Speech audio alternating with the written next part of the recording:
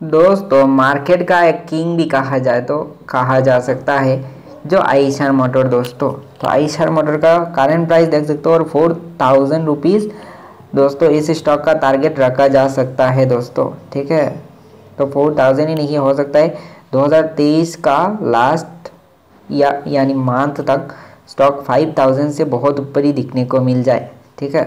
पर इसका दोस्तों स्टॉक जो है ना कॉन्सिस्टेंटली ग्रोथ करने वालों में से है।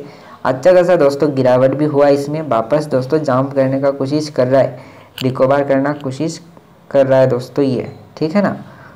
पर दोस्तों बहुत ज़्यादा चांसेस है। नवंबर मंथ में भी आप इससे अच्छा खासा प्रॉफिट कमा लो दोस्तों, हो सकता है।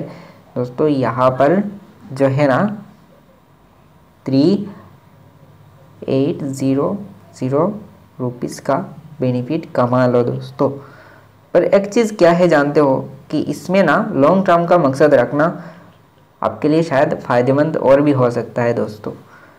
पर कमेंट करना कि क्या आप भी इसका शेयर होल्डर हो कि नहीं। और अगर आप भी इंडिया का बेस्ट ब्रोकर के थ्रू अपना डीमेट अकाउंट ओपन करवाना चाहते हो तो डिस्क्रिप्शन बॉक्स पर लिंक है। जाओ जाके ओपन करो दोस्तों।